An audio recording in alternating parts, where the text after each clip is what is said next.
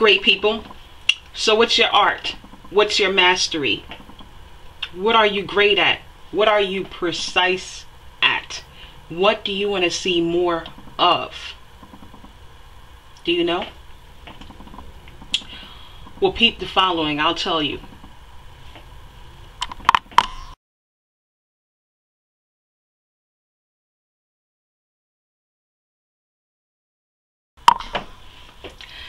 People. It's me, Arlene J. Ramsey, CEO and founder of Everyone Let's Talk. Also, your favorite self wealth mentor. So, so, so, you guys know I haven't been on in a while, but I was listening to uh, WBLS this morning, and the fellas, Jagged Edge, was on. They're out with a new album. Um, Steve Harvey played one of their singles, and it's called getting over you. I just want y'all to groove with groove with me for a minute. I'm going to play this. They're not saying a lot, but they are saying a lot. So listen for a second. And then we're going to get into today's segment.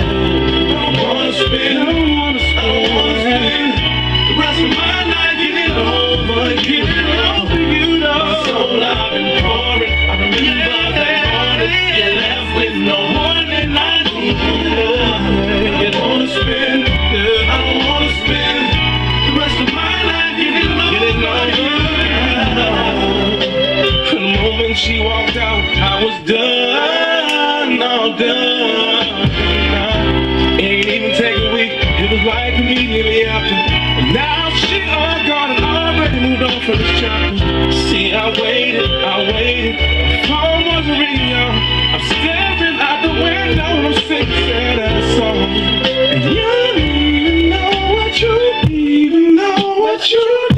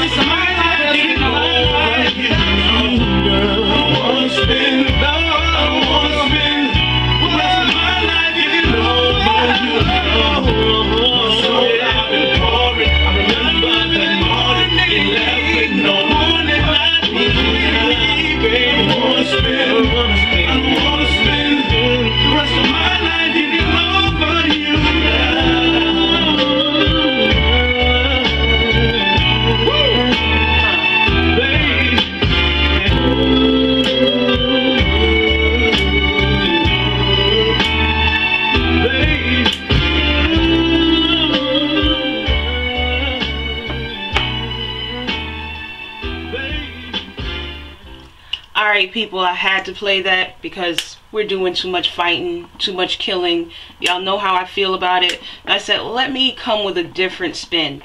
You know, and I realized you guys, you're too tough to love, but you're too afraid to fight the people who've really wronged you. Which actually tells me that you're actually mortified to love because it takes more courage to love than it does to fight. You understand what I'm saying? You're out here in the streets killing each other. There's more murders that then went on. You know, a brother we grew up with killed his fiance. Four people died. We had three that died in a homicide. Then you had another person who recently died in the West Ward. There's just too much of it going on, and um, it's not something that I realize, but it's it's how we're going to break or shift this paradigm that has been going on, and too many of you are taking your frustrations out on the wrong people. And you're still not happy.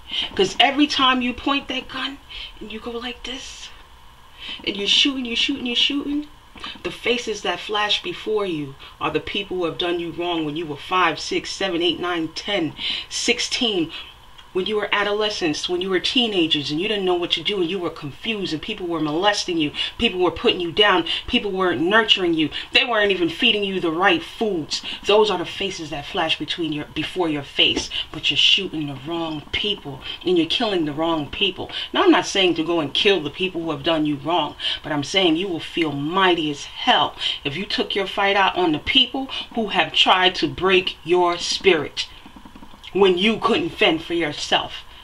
Now that you're able to fend for yourself, you're taking your frustrations out on the wrong people and you're still miserable because the people who have done you wrong are still doing the same shit they were doing when they were doing you wrong back then.